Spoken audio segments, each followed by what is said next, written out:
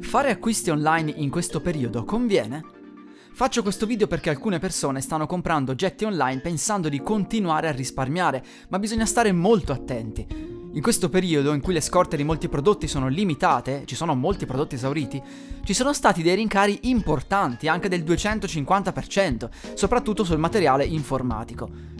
Prendiamo ad esempio le webcam, sono diventate difficili da reperire, quando le trovate costano molto di più del prezzo standard. A gennaio 2020 avevo salvato dei preventivi su un paio di siti online di informatica.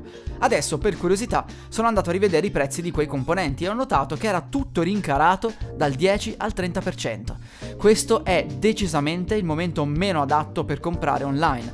Tant'è che l'altro giorno mi si è guastata la stampante, ho fatto due calcoli e alla fine mi è convenuto di più prenderla in uno dei negozi fisici che potevo raggiungere. Quindi è ovvio che nella situazione attuale acquistare online sia spesso necessario e talvolta si preferisce spendere di più, l'importante è esserne consapevoli.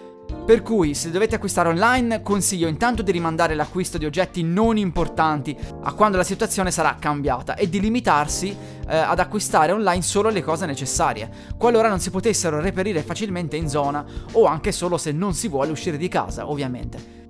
Detto questo, io devo per forza comprare online quella cosa, cosa dovrei fare?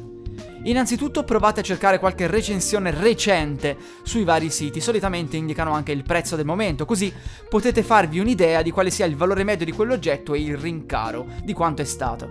Poi cercate quell'oggetto su vari siti e non solo sul sito che usavate sempre perché era più economico e affidabile, poiché in questa situazione ogni singolo oggetto può avere un rincaro variabile a prescindere dal sito, quindi fate una ricerca più approfondita. Infine, cosa molto importante, valutate anche altri modelli più potenti e meno potenti, perché vi assicuro che potreste avere una sorpresa. Ebbene sì, capita che alcuni modelli siano rincarati talmente tanto da arrivare a costare di più di altri modelli più potenti, quindi paradossalmente si spende meno comprando il modello successivo.